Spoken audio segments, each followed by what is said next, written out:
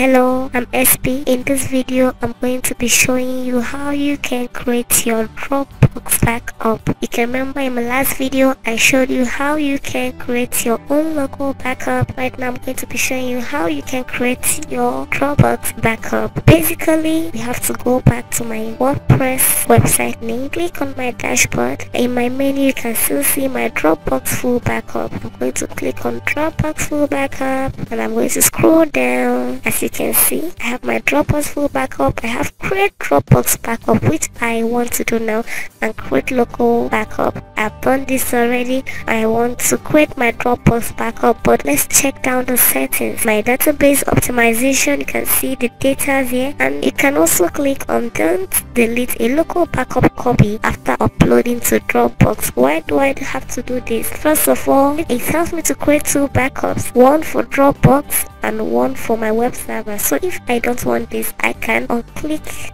this very button to my Dropbox. Because before I do any backup on my Dropbox I have to open my Dropbox account. And I can see a new page opened where I have to log into my Dropbox account. I'm already logged into my Dropbox account so I have to click on allow. And remember you are not logged in. That's if you are not an existing user you have to create your own account. Now I'm going to click on allow. I'm come I'll come down create my own Dropbox backup. See it is already in progress. After she's packing up my status already. My files are being backed up. It wouldn't waste my time. Backup in progress. I can stop this backup if I want. But right now I don't want so I have to allow it to be done backing up. You can see it is in progress. Yeah my Dropbox backup is successful already. Right now you can see the time and my date name of my backup the archive path my status and you can see the Dropbox backup.